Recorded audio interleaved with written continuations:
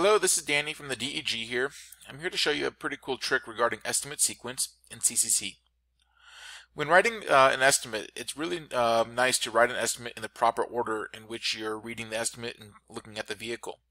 So typically when we see a vehicle, we see the outside of the vehicle first, and when we're working on the car, we tend to take it apart and then work our way inwards. This should be the same way that we write our repair plans, working from the outside in. The system was also designed and intended to be written in this format, but also allows you to write it in any format you want, because that's what the system allows you to do. So the way to make this a profile setting in a standard feature, so every time you open up an estimate, we can go to our configure tab, we can go to our profiles. When we open up our shop profile here, we can go to the estimate options and we can go to default estimate sequence in which we can keep it as none or work our way from the front or go from the back to the front, front to the back.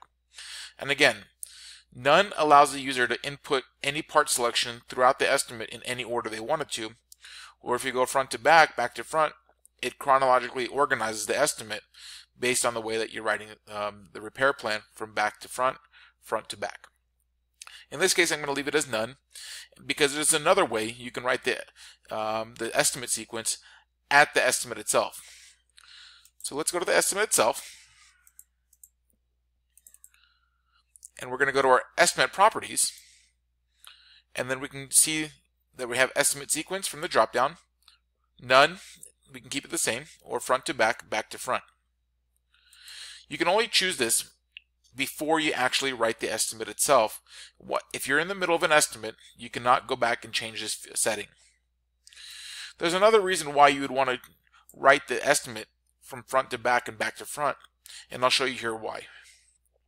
So what we're going to do is we're going to add a couple lines on here, and we're going to refinish some parts, and I'll show you what's going to happen when we write it in the order from front to back. So we're going to start with the bumper cover. We're going to add the hood to refinish. And we're going to go to our fenders. We're going to refinish one side. And we're going to blend the other side. So you can see here, we have a total of four parts we're, we're painting. Bumper, hood, fender, and blending the uh, opposite fender. When we go to our totals, we're going to see we have a total of 9.8 refinish hours. Let's see what happens when we write from the inside out method. We're going to open up a second screen and we're going to write the estimate in the same order but backwards. So we're going to blend the left fender, refinish the right one, refinish the hood, and we're going to refinish the bumper. You can see we have the same four parts and we have the same blend operation for the left fender. When we go to our totals, we're going to see a difference of minus 0.2 hours, bringing this to 9.6 hours. As you can see, when you write from the front to the back, the system is designed to consider all the adjacent panels and overlap deductions as intended. When you're writing from the inside out, it's taking a different calculation based on the first major panel and the first adjacent panel and then adjusting that based on the labor times in the sequence in which you are adding it. So you can see the importance of why you would want to work your way from the outside in.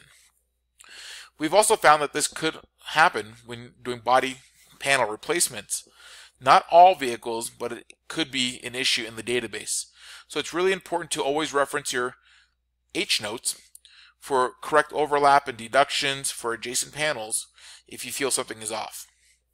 When you run across these situations, please visit our website www.degweb.org and submit an inquiry. We'll work with the information provider and get that resolution fixed so that way it doesn't occur in the future for that file. Thank you and have a great day.